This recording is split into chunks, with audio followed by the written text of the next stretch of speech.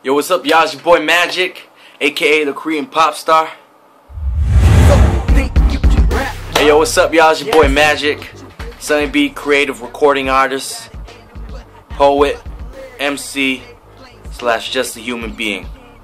So, uh, making this video let y'all know that I got uh, three releases coming out real soon.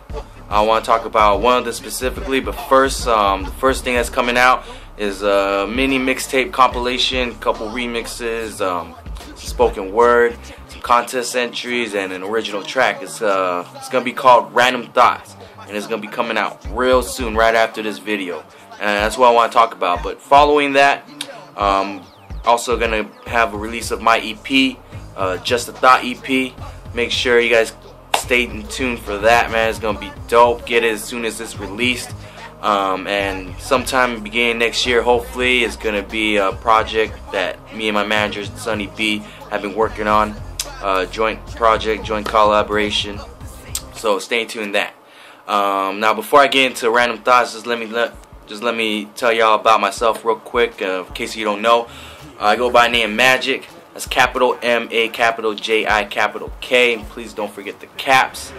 Um, I've been writing poetry for about almost nine years now, and um, been rapping for about three. And uh, just to let y'all know how you know passionate I am about you know what I do.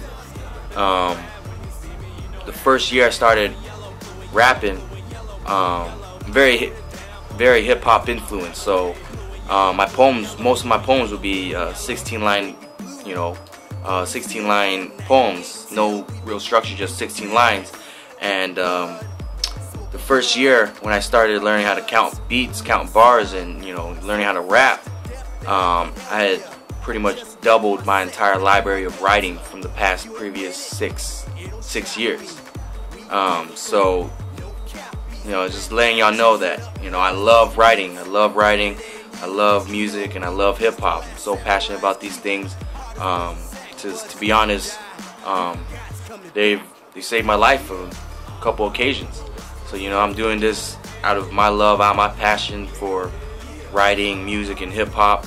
And you know, if I'm capable of you know touching somebody, influencing somebody for the better, and you know, leaving a positive mark on somebody, you know, it'll all be worth it, no matter where I end up.